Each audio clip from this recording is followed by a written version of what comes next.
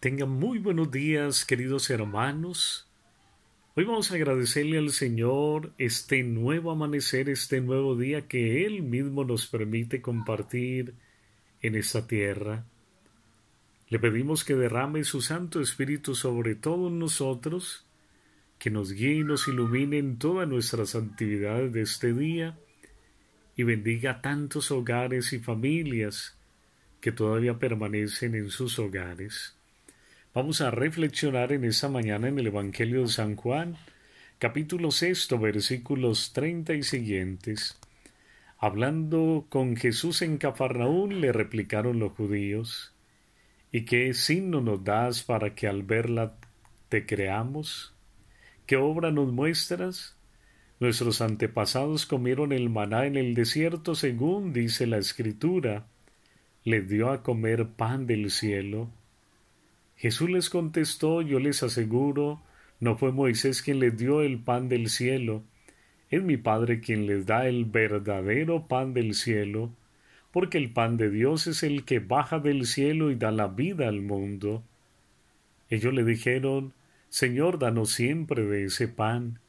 Jesús le respondió, Yo soy el pan que da la vida. Quien viene a mí no pasará hambre, quien cree en mí nunca tendrá sed. Palabra del Señor. Muy queridos hermanos, nos dice la palabra de Dios, mi Padre es el que les da el verdadero pan del cielo y da la vida al mundo. El Señor conoce nuestras debilidades y heridas y busca la manera de acercarse a nosotros y darnos luz en el camino. Por eso el Señor es el pan de vida. El evangelista San Juan nos aclara quién es el alimento que debemos buscar en todo momento, a Jesús de Nazaret. Él ilumina siempre nuestra vida, nos da fuerza para continuar en nuestra misión en este mundo.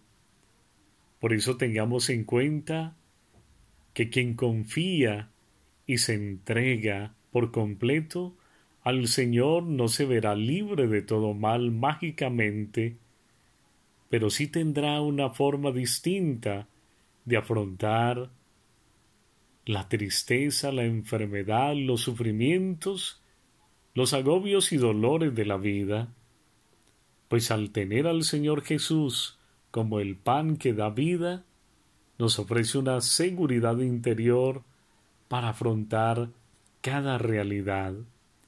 Busquemos los bienes de allá arriba, los bienes espirituales, los dones y los frutos, para tener fuerza y no dejarnos vencer por las cosas del mundo que no nos traen a nosotros alegrías o felicidad perpetuas sino pasajeras, si verdaderamente nos hemos acercado al Señor Jesús y lo reconocemos como el dueño de nuestras vidas, tendremos, queridos hermanos, que dar esperanza a muchos en momentos de crisis, para que nuestros pensamientos y actitudes construyan y edifiquen siempre a los demás.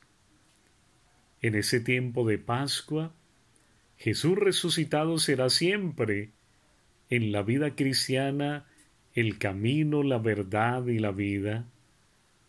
Solo en Él alcanzaremos la verdadera felicidad y la vida eterna. Vas a creer en Él y hacer la voluntad de su Padre Dios y de nuestro Padre Dios. Pidámosle al Señor en esta mañana que Él siga iluminando nuestra tarea y nuestra vida de cristianos, que confiemos, que no dudemos.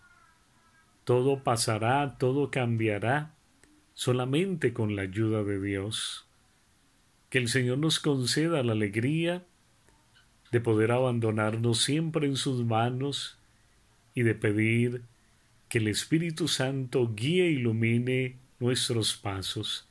Ángel de mi guarda, mi dulce compañía, no me desampare ni de noche ni de día, hace que me ponga en paz y alegría con todos los santos Jesús, José y María. Amén. Y la bendición de Dios Todopoderoso, Padre, Hijo y Espíritu Santo, descienda sobre todos ustedes y permanezca para siempre. Amén. Amén. Un buen día para todos, Dios los bendiga y los acompañe